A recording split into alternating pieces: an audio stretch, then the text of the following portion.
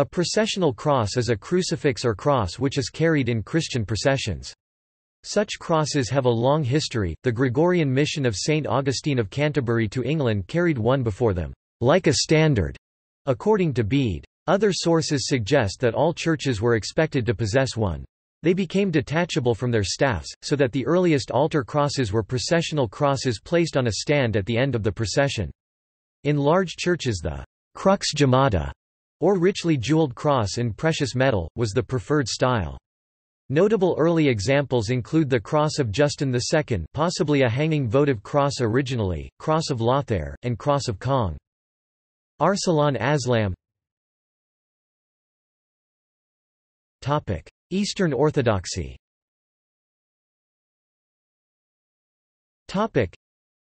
in the Eastern Orthodox Church, there are different traditions surrounding the use of the processional cross. Traditional practice, still followed among churches of the Russian or other Slavic traditions, is that the use of the processional cross during the normal cycle of divine services is a primatial privilege, and will only be done when the patriarch or first hierarch is serving. In the modern Greek tradition, the processional cross is often carried during the entrance at Vespers, and during the lesser and great entrances at the Divine Liturgy, regardless of whether the celebrant is a primate.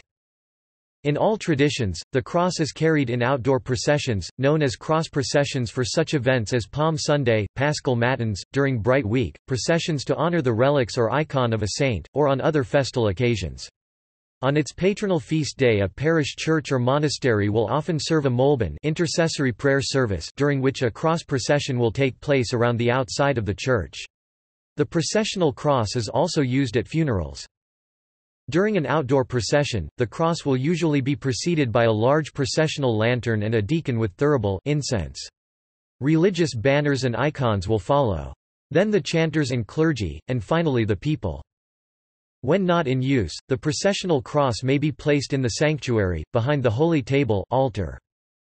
Some Orthodox processional crosses will have an icon of the crucifixion on one side, and the resurrection on the other.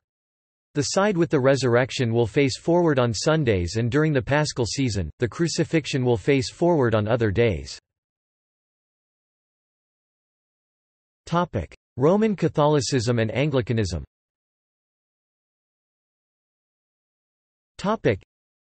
In the Roman Catholic and Anglican churches, processional crosses are used in processions preceded by incense and flanked or followed with candles. The cross is brought up to the altar by an altar server who has been chosen to serve as crucifer. Among Roman Catholics and High Church Anglicans, the processional cross will usually be a crucifix. In more Protestant-oriented parishes, the processional cross will usually be an empty cross. Topic: Methodism, Lutheranism and Reformed.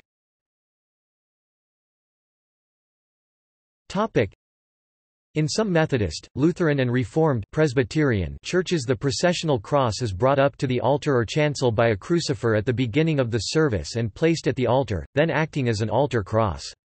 The acolytes that follow then bow to the cross at the altar. The cross represents the Lord's presence at the altar. Topic. See also Topic. Crucifer Altar crucifix Topic. References Topic.